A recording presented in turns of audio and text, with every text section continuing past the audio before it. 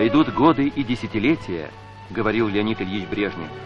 Нас сменят новые поколения людей, но сюда, к подножию величественного монумента Победы, будут приходить внуки и правнуки героев.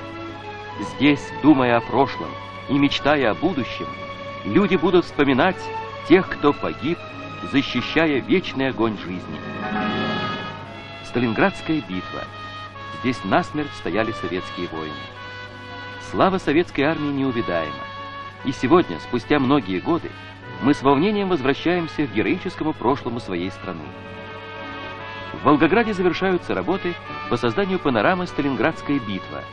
Над ее созданием трудится авторский коллектив художников студии имени Грекова.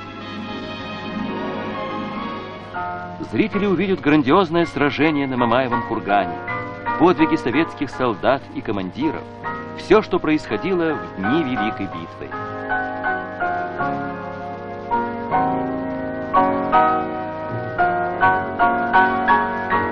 Подвиг народа бессмертен.